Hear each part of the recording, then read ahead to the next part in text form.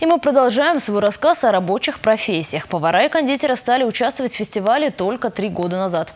Но их активности можно позавидовать, о сложности профессии, ее вкусной начинки узнавала Екатерина Абрамова.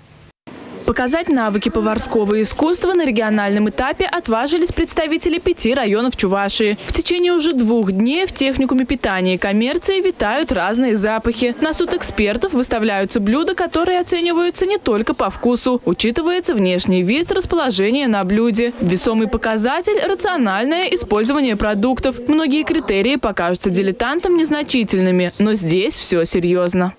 Я очень рада, что мне представилась возможность стать председателем жюри по компетенции поварское дело.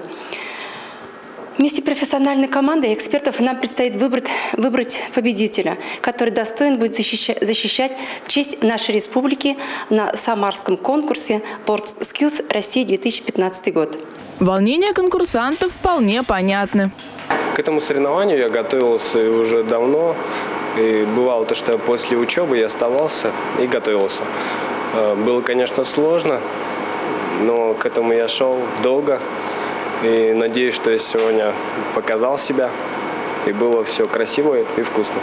С прошлого года в фестивале принимают участие и кондитеры республики. Их задача, по мнению эксперта, немного сложнее. Сегодня они создавали невероятные торты, подобных которым на прилавках магазинов не увидишь, конфеты ручной работы, а впереди еще изготовление композиций из шоколада и лепка из марципана.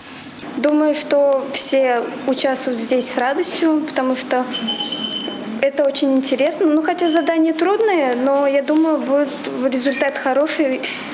И будет первое место, надеюсь, достойное, кому-то точно попадется.